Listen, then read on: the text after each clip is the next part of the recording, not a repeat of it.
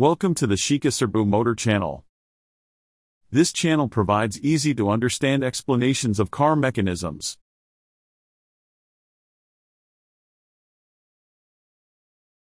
In 2024, Honda announced the revival of the Prelude. The Honda Prelude is a two-door coupe that was produced across five generations from 1973 to 2001. The sixth generation Prelude, set to go on sale in 2025, will feature a 2.0 liter naturally aspirated engine, paired with a two motor hybrid system, with an S plus shift, a simulated 8 speed gear shifting function. What is a simulated gear shifting function? Before understanding simulated gear shifting, let's first look at what happens during shifting, using a simplified model of a two speed manual transmission vehicle. The gear ratio for first gear is 0.5, and for second gear, it is 1.0. The gear is currently in first. And the driver has depressed the accelerator pedal, causing the engine rotation speed and vehicle speed to increase. When the engine reaches 5000 RPM, the input shaft speed is 5000 RPM, while the output shaft connected to the tires is at 2500 RPM. To shift up to second gear, the clutch is first disengaged. To prevent engine over revving, the accelerator pedal is released to lower the engine rotation speed, at the same time the clutch is disengaged.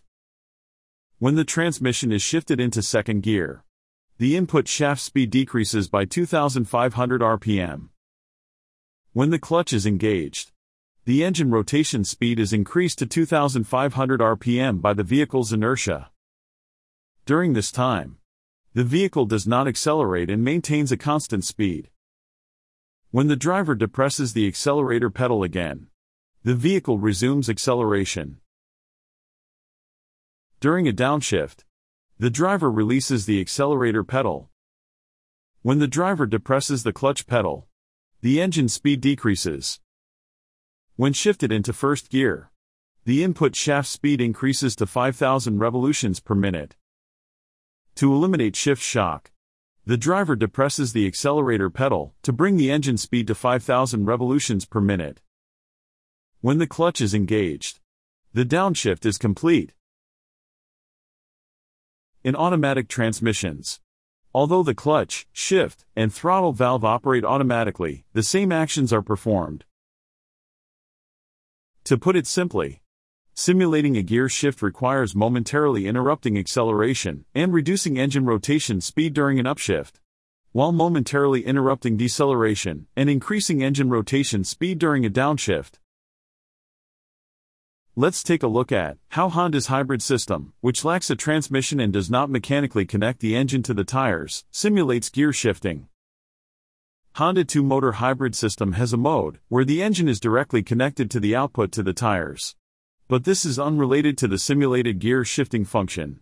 So, we will disregard it in this video.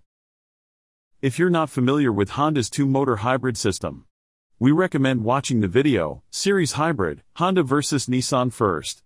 You'll find the link in the description. The engine is connected to the generator, while the electric motor is connected to the tires. Therefore, the engine and the tires are not mechanically connected. This means that the engine's rotation has no effect on the rotation of the tires.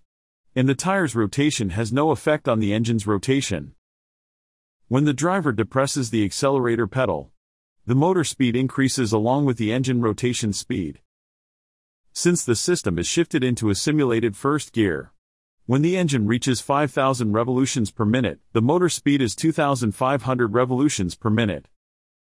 When the driver operates the shift up paddle, the electric motor maintains 2,500 revolutions per minute. Acceleration is interrupted, simulating a neutral gear state. At this point, the engine must reduce its rotation speed in preparation for the shift up. Since an electronic throttle valve is equipped, the engine rotation speed can be reduced even if the driver keeps depressing the accelerator pedal. But this does not create a sharp shift up feel. For this reason, the inverter temporarily increases the generator's power output. The generator, under a heavy load, applies a braking force to the engine. This quickly reduces the engine speed. when the engine speed is increased again, along with the motor speed synchronized to it. The simulated shift up is complete.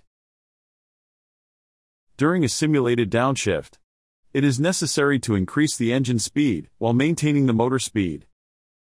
There is also a method to increase the engine speed by opening the throttle valve. But in this system, it seems that the generator is operated as a drive motor to raise the engine speed. Once the engine and motor are synchronized again, the simulated downshift is complete. Let's simulate this system and engine sound. Please note, this engine sound is created using an engine sound simulator and is not from a prelude. For those interested, there is a link in the description to an engine sound simulator that allows you to create engine sounds based on cylinder configuration, displacement, and other factors.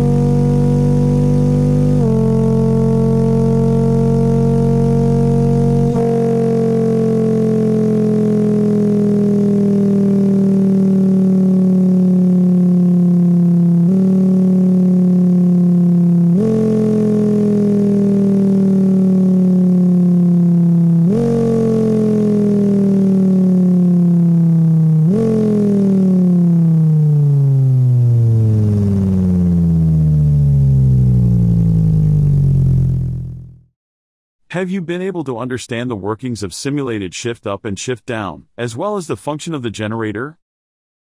During shift up, the power generation is increased to lower the engine speed. While during shift down, the generator operates as a motor to raise the engine speed. Many Prelude test drive reports have been uploaded to YouTube. To see real simulated gear shifting in action, check those out. Honda is not the only automaker employing a simulated gear shifting function. For example, Hyundai has implemented an 8-speed simulated gear shifting function in the Ioniq 5, a pure battery EV that doesn't even have a transmission, let alone an engine. Subaru has added an 8-speed simulated gear shifting function to its continuously variable transmission which does not use conventional gears. Lexus LC500 adds a 4-speed automatic transmission to its continuously variable hybrid system, enabling a 10-speed simulated gear shifting function. Hmm. It seems that some automakers believe drivers love unnecessary gear shifts. Even though it's fake. What do you think about that? Thank you for watching. If you enjoyed this video, please consider subscribing to the channel. We'll see you in the next video.